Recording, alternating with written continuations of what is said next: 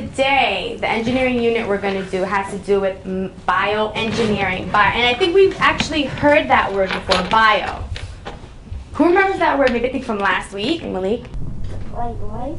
Good. Bio means life, okay? So today, the unit that we're going to be working on has to do with bioengineering. Who remembers what an engineer does? They like make your life easier and better like a microwave. Okay, they make life easier and better by maybe a microwave. Joshua? They invent some things. They invent some things. They improve. They improve. So you have engineers or people that what they use their knowledge, they use their resources to help create, make life easier. And you know that for every engineering unit that we do, there's a story. If you've heard El Salvador, show me hand. Okay. Does anyone know anyone from El Salvador? Huh, okay. Does anyone know anything about El Salvador? How, what type of, let's say, climate does El Salvador have? Remember, Humid.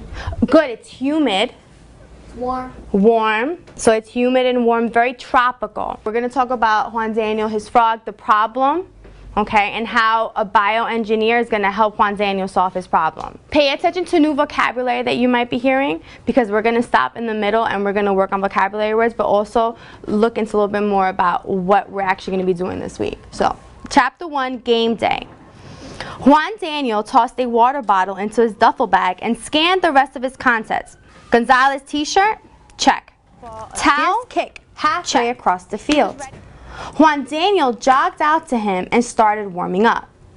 I want to stop for a second. What was the problem with the soccer field? And I want you in your group to discuss what was the problem of the soccer field? Okay, think of what El Salvador was like, what they finished saying, you know, how, what the climate was. But what was the problem with where the soccer field was? I think the problem with the soccer field was like it would not be hot. I think it was dry. I think it was. I think the problem in the, with the um, soccer field is that it's naturally hot because there were no trees to block the beating sun. Let me see, what was the problem? Who would like to share from the group? Ziari. The soccer field would not like be hot and dry. It would be hot and dry. Why do you think that would be a problem? Why would having a soccer field so hot and dry? Remember, there was something else that they didn't, they didn't have, Giraldi. It, they would get like tired easier since there was no like shadow where they could like be under. Okay, so they would get tired easier because there was no shadow, there was no shade. It hadn't rained for months. So that tells you it was already dry, it was hot. So imagine what it would be like to play in a soccer field where it was dry and hot and nothing to shade us. Okay, so we're gonna continue. Hey, nice t-shirt. Is it new? Carlos, chapter three, a football frog. And now we're talking about football like, you know, NFL? No. No, what kind of football are we talking about? Soccer. Soccer, very good. Just want to make sure we see that difference. So a football frog. I think everyone, including the frog, should go back to my grandmother's pupuseria. We need some victory food. in the rainforest, trees are cut down. What do you think happens to those animals? They have no home to live in. They end up in the wrong place. Like they don't have like no place to live, so they go to like another habitat. They're not gonna be able to live in that tree. They have no home, but they, they don't have no home. They can have nowhere to go. They have no food to survive. So anyone sitting where Matthew's sitting, can you stand up? Okay. So what happens to the animals, Matthew? They have to um, like they have to leave the habitat and and move and find another place where they could live. Okay, so they have to leave their habitat and find another place where they could live. The family of animals, like their babies, they probably like lose their parents and stuff. Okay, so you might have animals that lose their parents. You all came up with some good points. The idea is you guys could take a seat. You guys did a nice job. They could go someplace where they're not supposed to, maybe eat something they're not supposed to and die. But the main thing you guys came up with, give me a second, Matthew, is that they will not survive. Okay, there's a problem with them surviving. What was the difference? What difference did Juan Daniel notice with the frog that he found and the other frogs that you that he saw in the rainforest? There was something that he mentioned about the way this frog looked compared to how the other frogs he normally sees looked. The frog was not like it didn't have no like touch to it. It, it didn't feel like wet or nothing. It just felt like dried as paper. Yes, it was dry. Okay, it was dry. It felt like paper. Okay, so now we're gonna look at chapter four because after this we're gonna stop and we're gonna review some new vocabulary and we're going to talk about why that frog being dry was something that we need to look at. Okay, so we have chapter four, a helpful visit.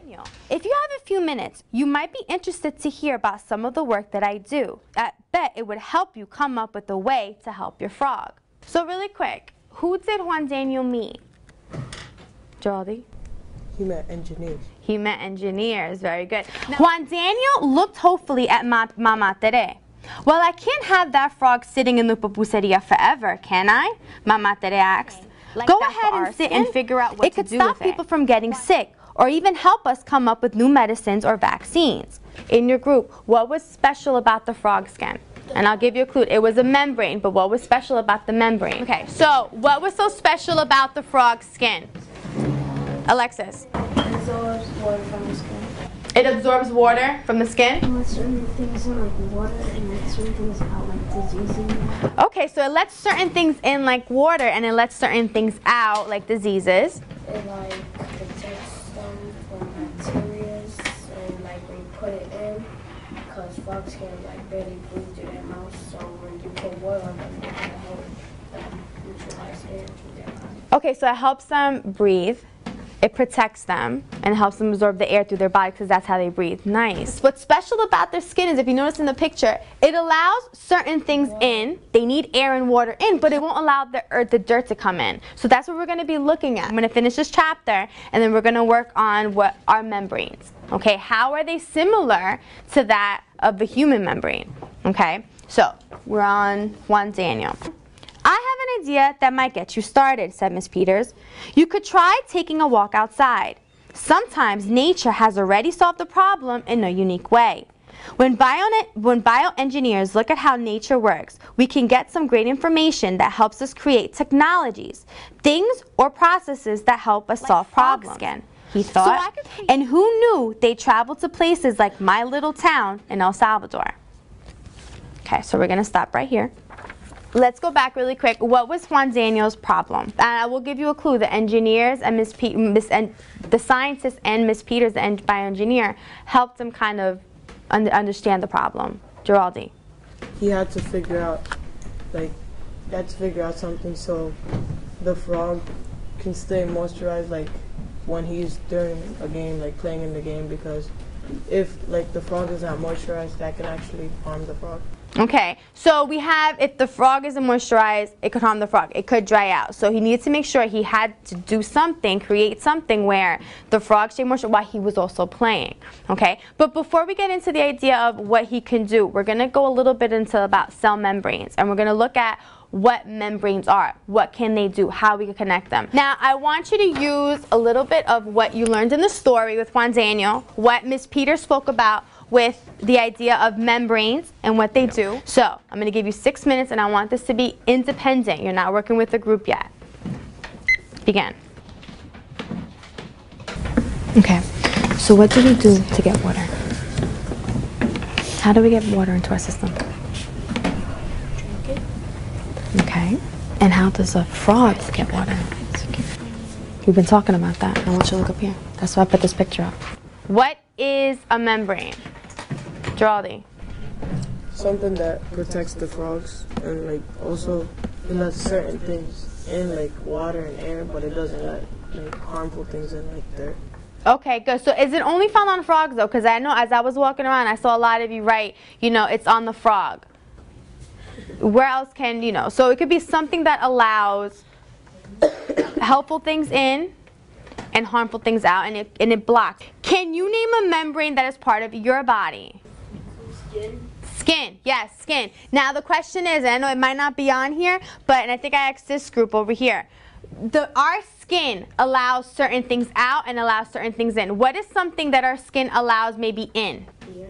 Air. It allows air in. Now what's something that it allows out that's also very important for us? Malik? It allows water in the form of what? Sweat.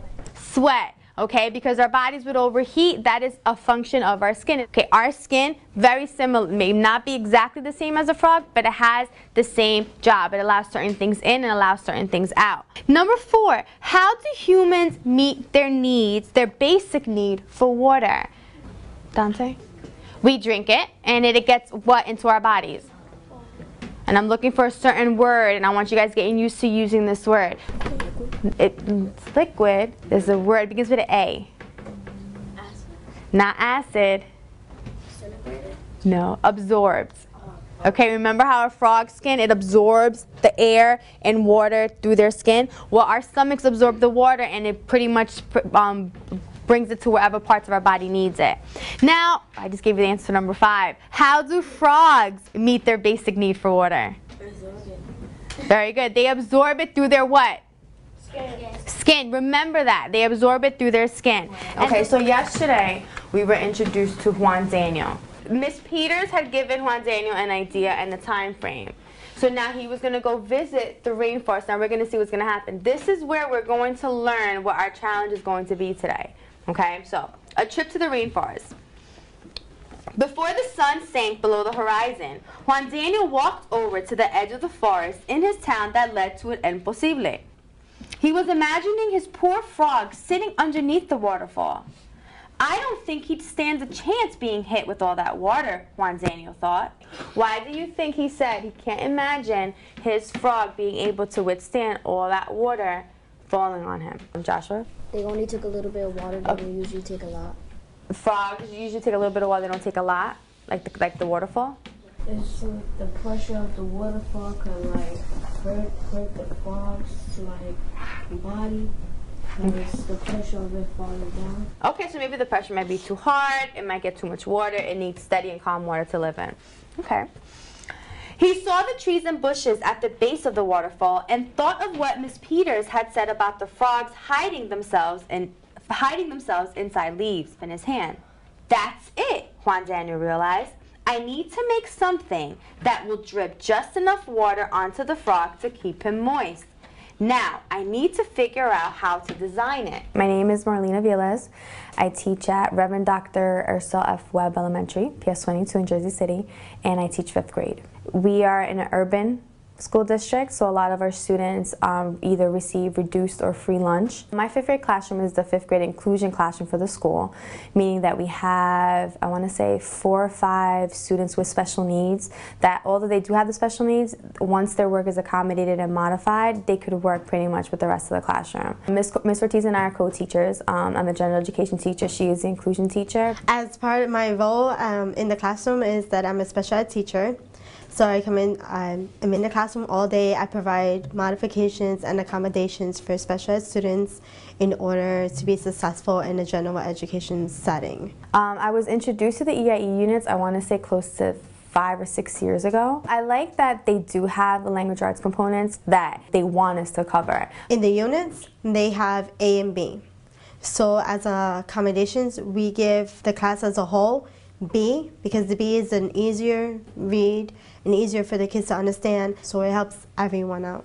Then they feel successful. They feel like they can read the read the material that's that's handed in front of them. Why is it important to teach the first lesson in the unit is because each lesson in the unit builds on the lesson before. So lesson one starts to build on lesson two, and then two starts reflecting on one, so that it keeps on building. I think the students really enjoy the story because it gets them understanding what's what's happening next. Like I like to let them know this is what we're going to be doing, and knowing expectations kind kind of helps keeps the class organized, keeps them focused. They know what to look forward to.